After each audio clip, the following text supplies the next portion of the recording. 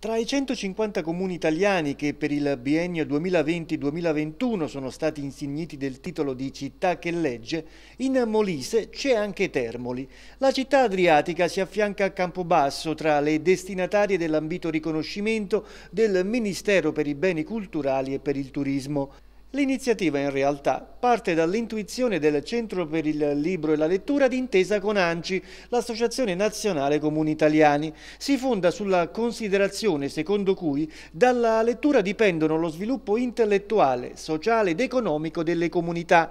Molteplici sono i requisiti che Termoli, così come le altre città premiate, ha dovuto garantire. La criticità legata alla presenza in città di una sola biblioteca pubblica, compensata dalla partecipazione dell'amministrazione comunale a progetti nazionali presentati dal Centro per il Libro e altre iniziative che coinvolgono scuole, librerie e associazioni. Fondamentale a Termoli su questo fronte la collaborazione tra l'ente pubblico e i privati. Tra questi questi il ringraziamento dell'assessore alla cultura Michele Barile alle associazioni Casa del Libro e Nati per Leggere. Nella conferenza stampa di stamane lo stesso Barile ha illustrato le nuove iniziative collegate al progetto che contribuisce a rendere Termoli una città che legge. Sì, nel mese di luglio scorso eh, ci è stato eh, riconosciuto e attribuito il riconoscimento di, eh, di città che legge.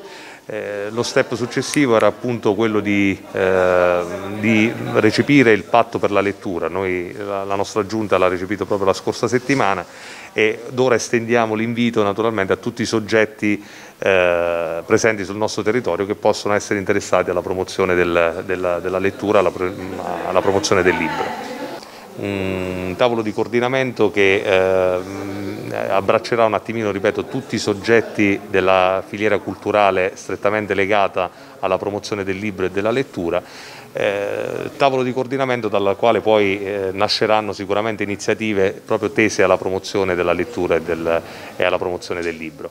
Eh, sarà un tavolo aperto a tutti, associazioni, istituzioni eh, scolastiche, eh, privati, tutti coloro che sono eh, interessati e hanno realmente la voglia di impegnarsi e di mettere anche delle proprie risorse eh, per la promozione della lettura e del libro.